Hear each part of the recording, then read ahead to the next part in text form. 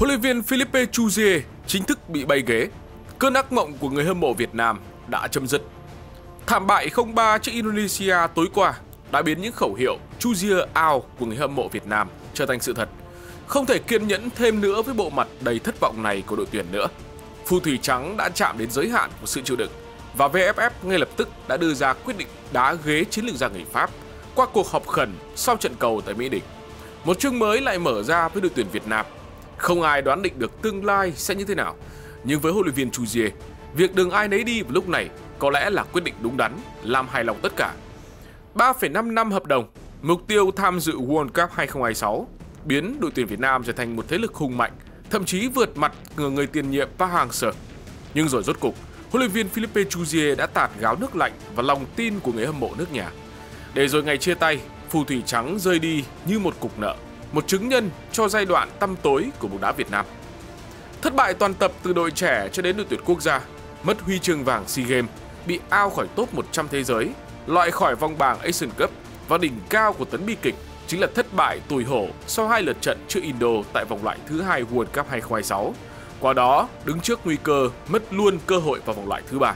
Chỉ trong vòng chưa đầy một năm, huấn luyện viên Chuzier đã phá hủy phần lớn bảng vàng trói lọi dưới thời của thầy Park. Người hâm mộ mất lòng tin, VFF cũng chẳng còn lý do kiên nhẫn.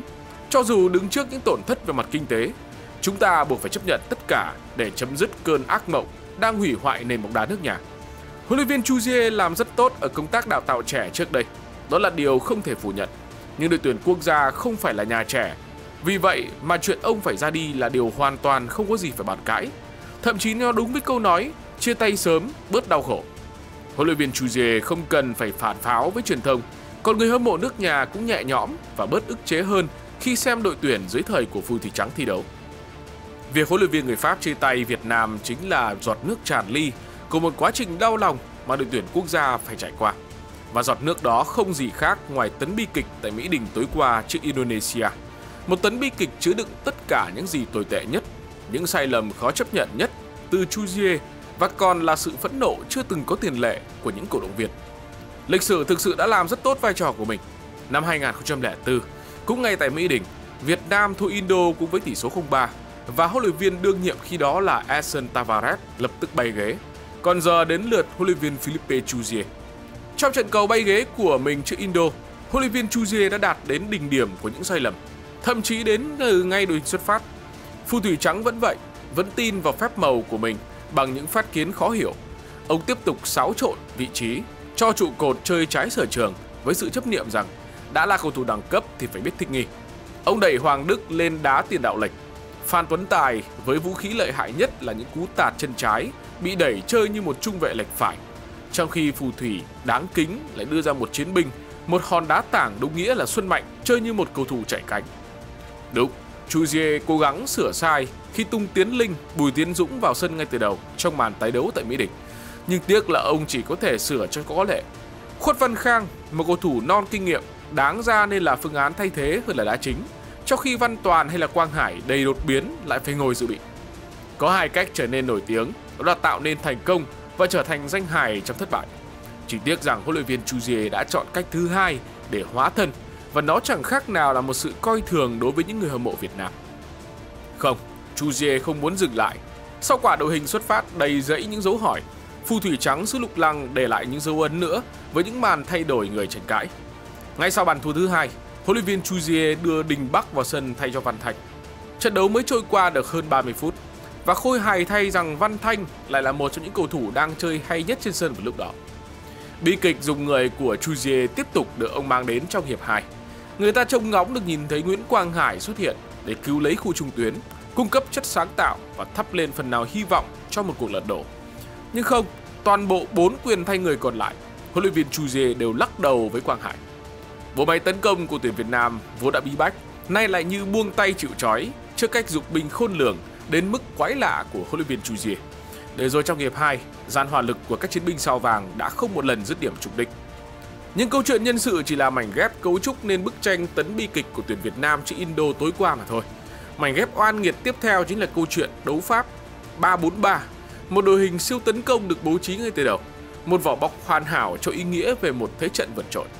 Thậm chí huấn luyện viên Chuzier còn tăng cường đánh biên chơi tạt cánh đánh đầu khi đang bị dẫn trước. Trong khi Indo sở hữu những cây xào made in Hà Lan, nơi có chiều cao nam giới trung bình khủng nhất thế giới. Ngày Chu đến, ông tuyên bố sẽ từ bỏ cách đá chắc chắn của ông Park để thay vào đó là triết lý thời thượng, kiểm soát bóng ngay từ phần sân nhà. Đây, thành quả đã biến thành hậu quả. Tỷ lệ mất bóng trên phần sân nhà gia tăng một cách chóng mặt và trước sự pressing đến từ Indonesia, người hâm mộ chưa từng xem một phiên bản đội tuyển gây đau tim đến như vậy trong hơn nửa thập kỷ trở lại đây. Thời gian càng trôi về cuối trận, khi Việt Nam càng bế tắc thì tất cả cần lắm một ngọn lửa tiếp thêm tinh thần từ băng ghế chỉ đạo. Nhưng đổi lại là gì?